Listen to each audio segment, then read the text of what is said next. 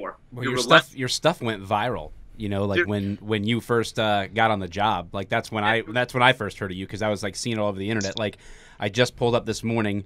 Uh, you'll be happy to know I was in my panties in bed um, when I when I saw this, but uh, I, I, rolled over and for some like for some reason like on my Instagram feed uh, the like I I follow the hashtag Thin Blue Line on Instagram, so literally it's it's you uh, sitting on a stage like I just go to the trunk of my car and put on a new one, right? Like th- that quote that you have: "If I break my leg, I just go to my go to the trunk of my car and get a new one." Like you guys can't do that, you know. Like, and I thought, oh, how cool it is that you're going to be on the show this morning, you know, and this is what popped up in my newsfeed. Well, a bunch of people were asking, you know, because like, well, what happens if you break your leg? And I'm like, you know, with all due respect, like, if I break my leg, I have a couple pair of extra ones. I go in the trunk, one.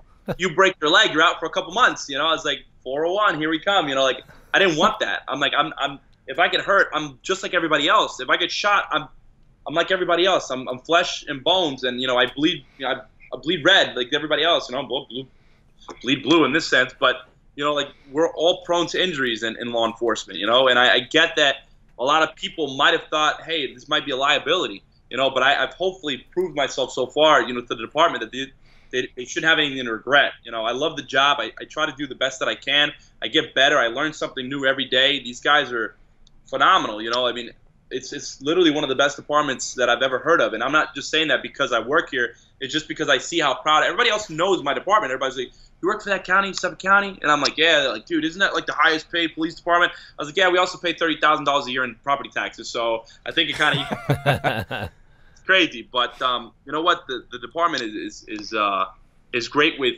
you know actually policing with the community. I think that like the community is proud to see law enforcement in their communities. You know, we have this this this thing, this perception that people don't don't like police officers. And I've had kids that I was able to make an impact on. You know, I let the kids come in and play in the car and do like the community policing that people do. Like we actually have SROs assigned to that. You know, the school resource officers usually do that kind of stuff, and the COPE units, uh, community outreach, and all that.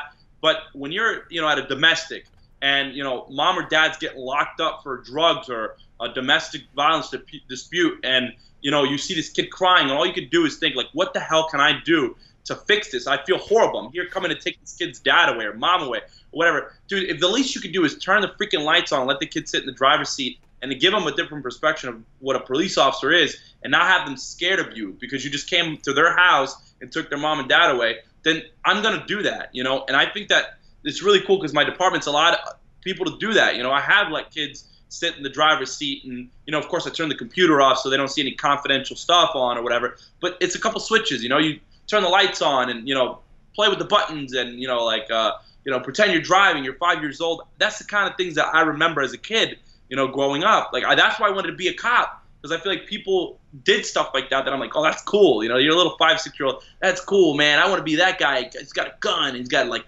lights on his car and he gets to go fast. And it's like you know, I've, I've been given this opportunity to do that. So I'm hoping to make a good influence, whether it's a good neighborhood, a bad neighborhood, or just a person who possibly saw a police officer as something evil or something bad. Because you know what? I mean, unfortunately, police officers do have to enforce the law. At the end of the day, that's what we are here to do. To enforce the law, and we're not above it. We're not beside it. You know, we're we're supposed to be making a difference. You know, and if I can do that and give somebody else a, a different perception of a police officer they had before, then that's I, have completed my job. You know, it's it's it's amazing. So, has there been an opportunity for you to chase someone who ran from you, and then to lift your uh, pant cuffs up, and then just like, so, put it, rub it in their face a little bit? To be honest with you, I wish I had a cool story like that. I kind of try to stay under the radar, although people do recognize me uh, from time to time. Like, it's usually good citizens that you know saw me on a newspaper or something. Like, hey, aren't you that cop? You look like that cop. You know, um, I had done some pretty cool stuff that I'm like, wow, you know, I didn't I didn't know like what would happen after this, whether it's you know running around after somebody or getting you know like a little scuffle or whatever. It, I'm with my I'm with my partners, you know, I'm with my my coworkers. You know, we were all doing it together, and there wasn't a time where I had to stop and think, okay, got to take a knee like this. No, that's what I train for. I go to the gym, I roll around the mats, I, I use the punching bags, I you know I use the, the wrestling mat. I go back to my training that I had in wrestling. I go back to my police training. I go back to my extensive, you know, training in the military because you know we do a lot of MCMAP, which is the military combat training.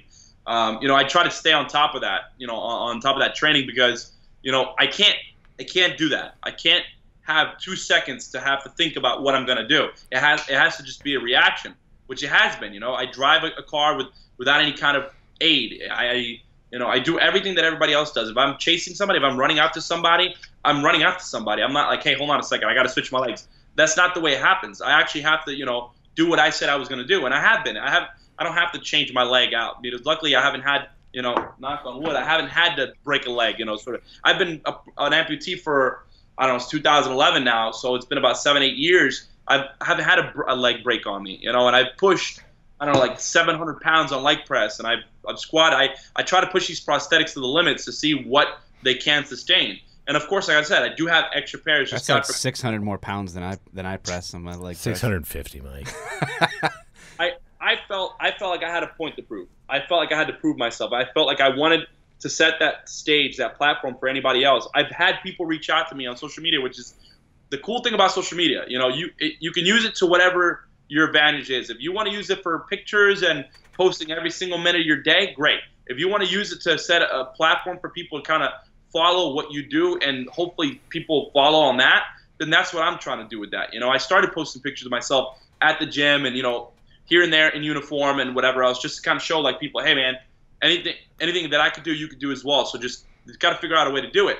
And now I've got cops reaching out for me all over the country. Hey man, I'm a double amputee too. Hey, I'm a single amputee. Hey, I was hit on the job. Hey, I was shot in the leg. Hey, I lost my leg to cancer. I and I'm just like, dude, that's so freaking cool because I'm like, I I struggled with that. I looked on Google everywhere. I was like, who the hell am I gonna call to ask how they did this or how they did that or how what, what leg do you use? You know, because there are different things in the leg market, so to speak. There is different. it's like you know, some guys have this leg, some guys have that. It's the leg forums. The leg, yeah, you know, the, the, the classic forum. leg forums. what, what, what, leg are you going to use today? You know? Well, let me ask you real quick. Um, so both Mike and I love jujitsu. So you say when you train in the in the gym, do you train with with the legs that you use on duty, or do you or, or do you do both? Hey, I'll take my prosthetics off. Maybe I'll do some rolling around, or you know, I'm just wondering how you how do you actually train like maybe grappling or fighting uh, when it comes to that. So to be honest with you, like uh, a lot of people ask me if it's an advantage for me because you know obviously it is made out of carbon fiber and it is pretty freaking hard. But I try to tell people like imagine you having your shin bone and kicking somebody inside of the head. Now imagine that times ten because that's basically what it's like. It's carbon fiber. It's not gonna hurt me. It's gonna hurt you. And so sometimes I I think okay, you know what? I'm gonna use that to my advantage. Why would I take that away? It's like right. it's like it's like an elbow. Like if you have to have an elbow to support yourself or to push in or to do so, or break a window, or whatever. Why would you not use your elbow. It's the same thing with my legs. I'm like, all right, if I take my legs off, that's not going to do me any good. Because if when I'm going to roll around, I'm not going to take my leg off and, hey, hold on a second, let me take this off, let's roll around now. You know, so I do use my legs to roll around, and I get a lot of my cop buddies that I'm like, you know, hey, have you ever wrestled or did anything in high school? No, not really. I'm like, hey, do you want to learn? Do you want? Can I teach you some stuff? That also gives me the opportunity to use a live person to see what I'm capable of doing. So now I'm not like comfortable. I'm not doing things from from the kneeling or, for, or from the ground. We're training like as if we were in a fight. So my buddy Justin, uh, who's a city cop, he works in NYPD. I was like, hey, dude, you ever wrestle? He said, no, not really. I was like, well, he's been in roll rounds. I know that because they have to wear, you know, body cams. So I've seen some of the stuff they've been through and whatever. And I'm like, all right, today we're gonna do some rolling around. Yeah, cool. So we start rolling around. I'm like, all right, I'm gonna show you takedown. I'm just gonna show you like, you know, simple wrestling takedowns. See how you like it. You know, what are you gonna do? So now I'm like, boom, I shoot on him, I pull on the heel, I do the, I, you know, I, I, I dive on my knees. I'm like, all right, that didn't feel bad at all. That actually felt good. And it made me see what I was doing, and it made him see what I was doing. And so we were like, give and take, give and take. So now I'm like, all right, we're going to do some stuff on the ground. I'm going to put you in a chokehold, or I'm going to put you in an armbar, I'm going to put you in a triangle, and pretend you have a duty belt on. And pretend I'm the bad guy who knows jujitsu, and I'm beating the shit out of you, I'm about to take your gun. What are you doing? And I put him in a weird triangle hold, and I put him in an armbar at the same time, and I exposed his whole side where his where his weapon side would be. And I and I'm talking to him, and we're laughing a little bit because we're joking, and we're on the ground. And I'm like, all right, bullshit aside. I said, I'm about to fucking kill you. I'm about to take a gun. What are you gonna do? And he's like, like he's like a little monkey, like out of it. And I'm like, no. I said, I said, you're about to get shot in the face. What are you gonna? And I'm trying to put him in that mindset. I'm like, I know this sounds aggressive, dude, but for, let's pretend for a second that you are being beaten up. You are being t- taken away from your weapon. Like, what are you gonna do? And he's like, and he like sat there like this, like he was like worthless. He was like, dude, That's crazy. That just put me. I've been a cop for a while. That put me in a different perspective. I've rolled around with guys, but I've never had to worry about getting beat up. I've always had like six other people with me. Yeah. He's like, I never really had to think about doing it on my own.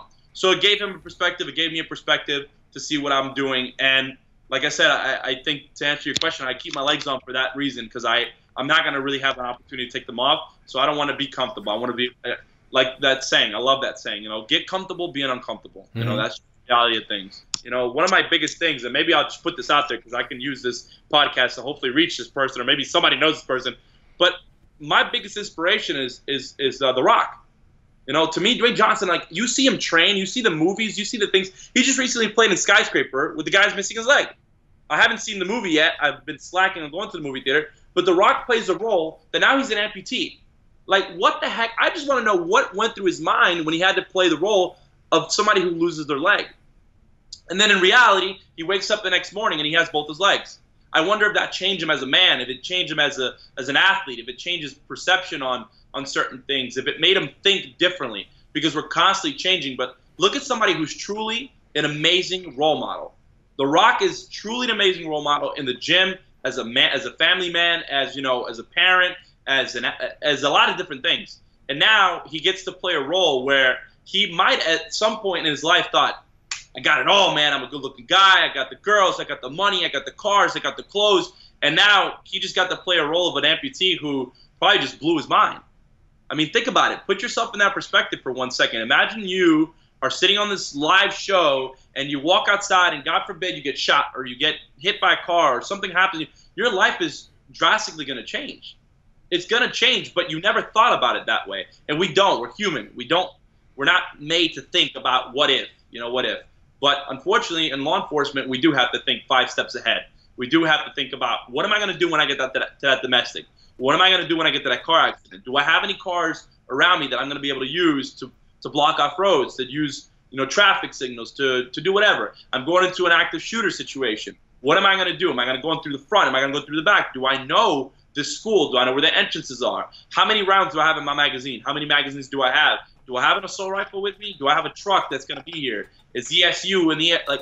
You're always thinking, and I think that that's really cool to me. Like you know about situations like that in in Hollywood and in the movies. That this guy who is an idol, and to me, he's my idol. You know, I think that if I could talk to this guy, I would love to hear what he had to say and what his perception was on how he thought about life. What what changed after that movie? I know I know it had to change his life because this amputation to me it changed mine.